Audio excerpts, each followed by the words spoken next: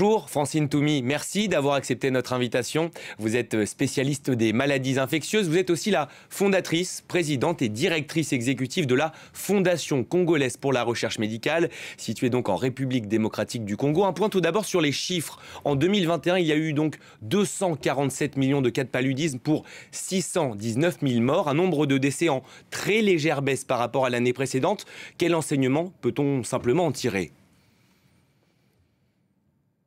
Alors, l'enseignement que l'on peut en tirer, c'est que la lutte continue et que euh, on est sur un plateau et qu'il faut redoubler d'efforts parce que le, il faut que absolument l'incidence du paludisme diminue dans tous ces pays endémiques. Les efforts doivent continuer. Et c'est ce qui est fait, selon vous, actuellement? Alors actuellement, on voit bien que les fonds alloués à la, lutte contre le paludisme euh, ont un gap de 3,5 euh, milliards de dollars. Donc cela ne, permet pas de faire une lutte anti-vectorielle adaptée, comme vous l'avez montré dans votre reportage, de regarder l'efficacité des, tests de diagnostic rapide déployés, puisqu'on sait que les parasites mutent, et donc il faut des outils euh, performants de surveillance et aussi trouver de nouveaux insecticides puisqu'il y a de la résistance des moustiques et bien évidemment avoir toujours des médicaments qui soient efficaces contre cette maladie. Donc, besoin de beaucoup de fonds et malheureusement, les fonds ne, sont pas là. C'est donc le, le principal obstacle, ce manque de fonds. Quels sont les autres obstacles justement?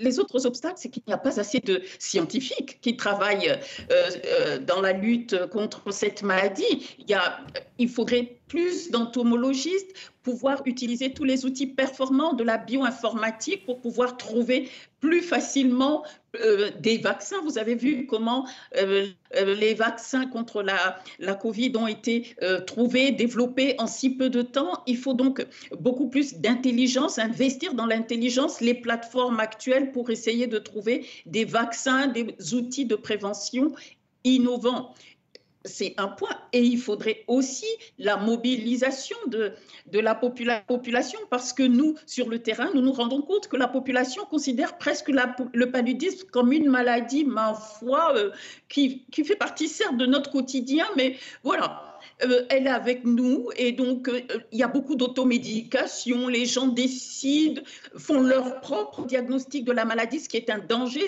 pour les autres, bien évidemment, parce qu'on expose le médicament euh, aux parasites et donc on peut créer comme ça, susciter de la résistance. Donc il faut une une mobilisation de la population, sensibilisation, nos gouvernants doivent mettre la main à la poche, investir plus dans la lutte contre le, paludisme. On ne peut pas continuer à compter essentiellement sur des fonds qui viennent, voilà, en dehors du continent. Il faut plus de financement qui viennent du continent. Plus de financement, plus de formation pour les médecins, plus de sensibilisation du public. Vaste programme, mais au moins il est évoqué euh, devant nous. Euh, question également très importante, celle des vaccins. En Afrique, le Ghana a récemment donné son feu vert pour le lancement d'un nouveau vaccin qu'on peut qualifier de prometteur. Qu'en est-il exactement? Il pourrait voir le jour bientôt? Alors, vous parlez euh, du vaccin euh, d'Oxford, le R21, oui, qui est un vaccin prometteur, mais euh, on a les résultats de la phase 2 qui montrent 77% d'efficacité. Ce vaccin doit continuer son développement. On attend les résultats de la phase 3 et 4. Donc, ce qui veut dire que la recherche pour un vaccin efficace continue. Les espoirs sont permis, mais là aussi, il faut que les études soient conduites parce que, euh, le vaccin, ce R21, n'a pas été testé dans beaucoup de, pays et on sait que le paludisme est divers, que les souches sont diverses. Donc cela veut dire qu'il il va falloir évaluer ce, vaccin sous différents contextes. Mais c'est un espoir. Euh, je vous informe aussi, je crois que le Nigeria Nigeria aussi vient d'approuver euh, ce vaccin, donc deux pays africains. Pour les non-initiés, vous parliez de 77%. C'est un chiffre, un bon chiffre, prometteur ou on peut faire beaucoup mieux? Alors l'OMS met la barre à 75% d'efficacité. Donc euh, ce vaccin va au-delà donc de, ce que demande l'OMS. Mais on est en phase 2.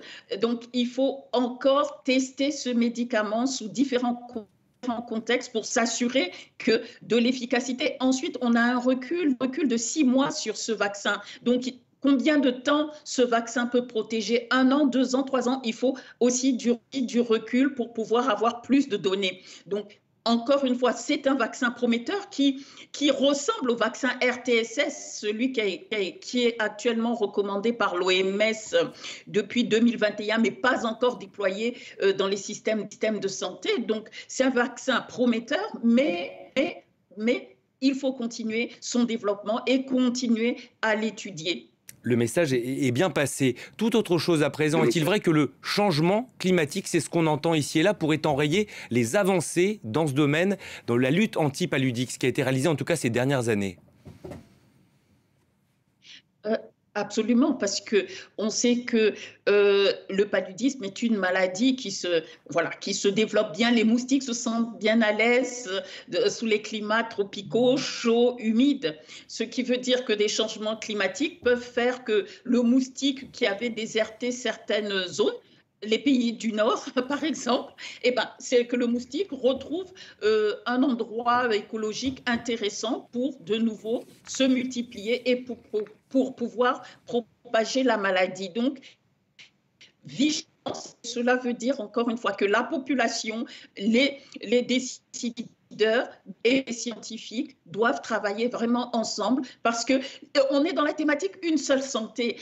Il, ne, faut plus regarder chaque maladie par, un seul petit angle. Il faut vraiment euh, que ceux, qui travaillent sur l'environnement, ceux qui travaillent au laboratoire sur les maladies et les informaticiens et les économistes d'ailleurs, les sciences sociales, les sociologues, les anthropologues travaillent tous ensemble pour pouvoir trouver vraiment les... Euh, Merci. Des angles, appropriés, avoir toutes les informations pour trouver la solution.